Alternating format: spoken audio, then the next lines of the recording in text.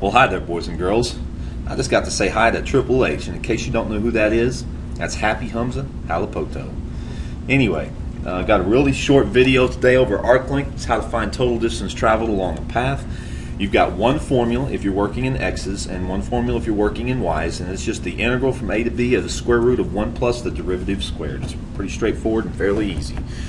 So let's just find the arc length of the graph of the given function over the indicated inter interval. The very first thing that you are going to want to do is you need to find the derivative because that's what's in the formula. We have to find the derivative to square it.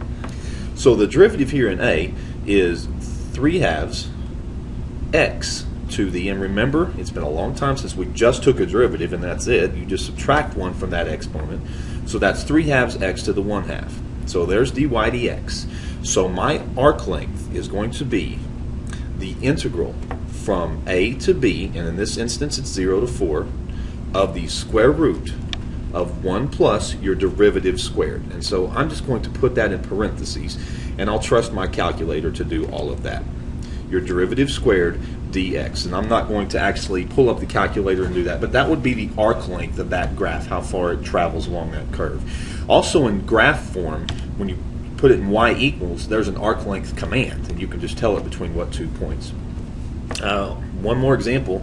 This is all y equals in terms of x, so I'm not using this bottom arc length, but I'm trying to find the arc length um, between 8 and 27 of this graph. And your very first step is you want to find the derivative, dy dx.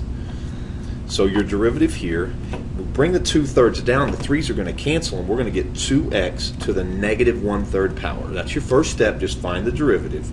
Then your arc length, S for arc length, I don't know why, but that's what we're using, is the integral between 8 and 27 of the square root of 1 plus your derivative squared. So 2x to the negative 1 third squared. That is all you do to find total distance traveled dx. I'll see you guys tomorrow.